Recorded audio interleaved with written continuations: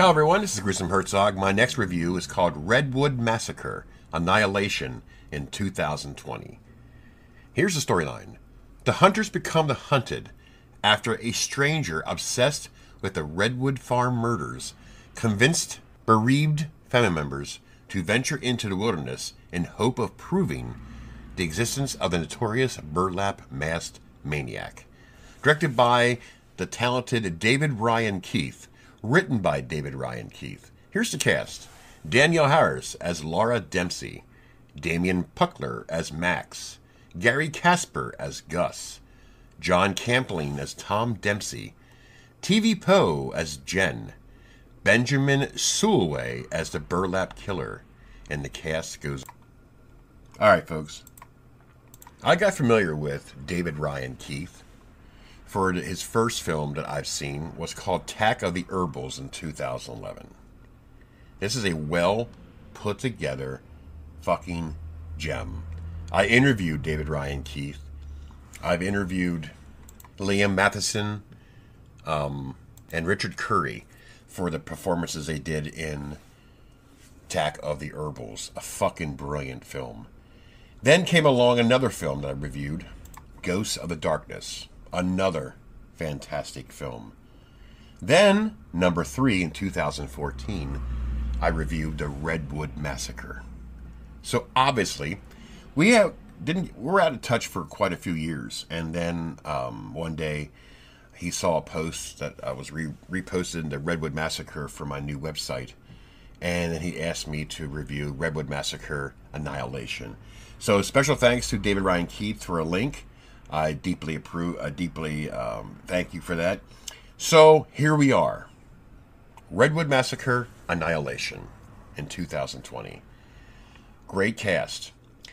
Uh, Danielle Harris from the Halloween days is back in '88 and on forward as Laura Dempsey. She was a badass in this film, which I kind of figured that by when you seen the scene of him, her kickboxing and boxing, and her dad. Um, Tom Dempsey, John Campling, um, been searching for this masked burlap killer for years because her sister and slash, you know, Tom Dempsey's daughter, Laura Dempsey's sister, was missing. Damien Puckler was Max. Max, Max. Serial killer Max. That's what I'll say. A very unique character, Max was fucking strange as all get out. But he was fascinated with this burlap killer. So he led um, Laura and Tom and their friends in this obnoxious bullshit story of finding the mask, which he did. But that wasn't his.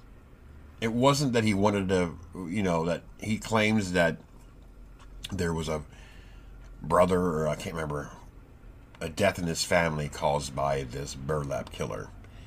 He went there for entertainment. I don't want to say too much. It is out to watch, but I don't want to ruin the film. But wow, great cast, great storyline. I find this film brilliant. And what's neat about this film, it wasn't. It was in one place. It was in a bandit hospital underground.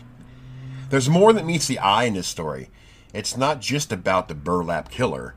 There's a reason why the burlap killer is down there. So they all go into this underground. They go. They figured out that it's in this underground hospital. Oh, strange hospital.